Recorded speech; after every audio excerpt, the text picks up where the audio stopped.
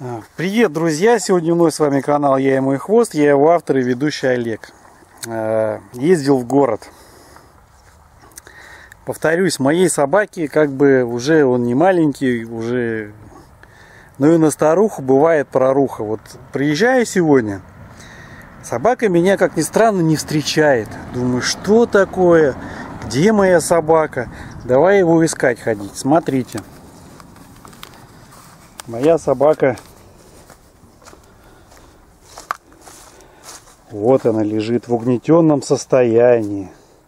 А что случилось, Акбар, а? Что?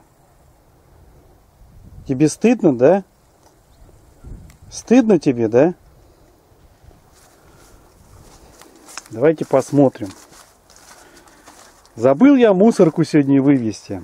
Никогда у нас уже лет 6, наверное, собаке 7 лет, с года он вообще ничего такого у нас не делал.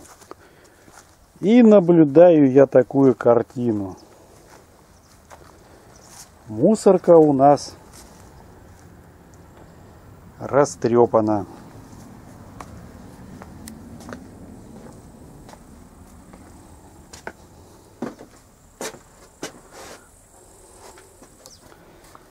В общем,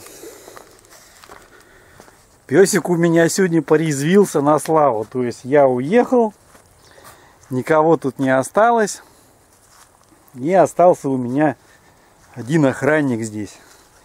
И он как про security бородача, я его должен... Что я, Акбар, с тобой должен сделать? А?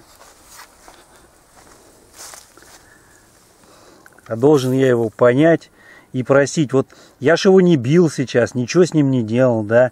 И он морда косячная же прекрасно все понимает. Чего это вот нельзя, да? Вот приходите вы домой, да, а собака вас не встречает. Когда собака вас встречает, значит все в порядке. А когда собака вас не встречает, вот с таким загадочным видом, что все происходящее вокруг, это ну, не он это сделал. Посмотрите, у него уже вид такой, он вообще тут не при делах, да, Акбар? Вообще не ты. Не ты это сделал. А кто? Кошка. Ой, мы ее поймаем и по жопе ей надаем, да, Акбар?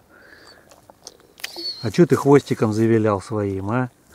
Что ты хвостиком-то завилял? Не стыдно тебе? Ой, не стыдно собаке.